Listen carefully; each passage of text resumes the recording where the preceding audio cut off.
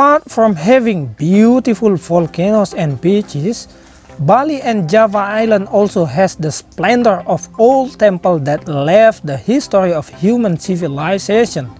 I will try to invite you to see a few temples in Indonesia, especially those in Java and Bali. Stay tuned and enjoy the video. In Indonesia, too much temple to count.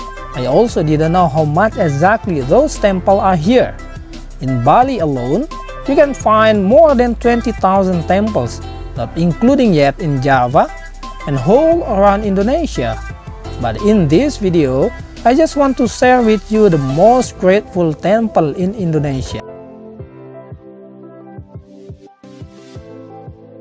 Candi Borobudur Dating back to 9th century, Borobudur is the largest Buddhist temple in the world and the biggest temple in Indonesia, made up of over 2 million bricks and 504 Buddha statues. Borobudur is split into three complexes that you can explore.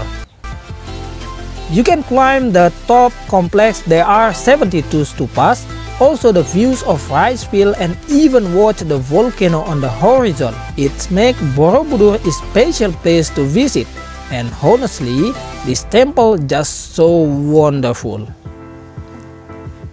Prambanan As Buddhist temple in Borobudur, Hindus also has the biggest temple in Indonesia. The name is Candi Prambanan and one of the biggest in Southeast Asia. The temple was built in 9th century. Prambanan is comprised of 8 main shrines with 250 smaller ones surround it. The temples are covered in exquisite bas-relief carvings, which means story of Vishnu incarnation, adventure of Monkey King Hanuman, Ramayana epic, and other Hindu legends. And also, in this video, I would like to show you the most beautiful Buddhist and Hindu temple in Indonesia. Candi Dieng in Java. Pura Tanah Lot in Bali.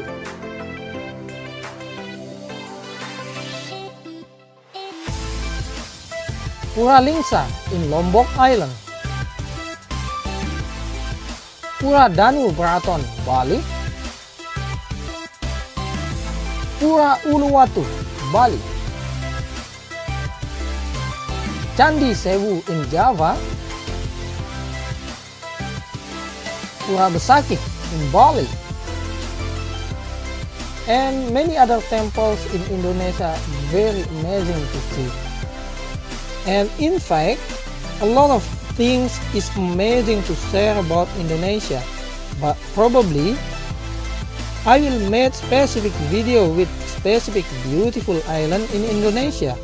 Hopefully you like the video and enjoy the video.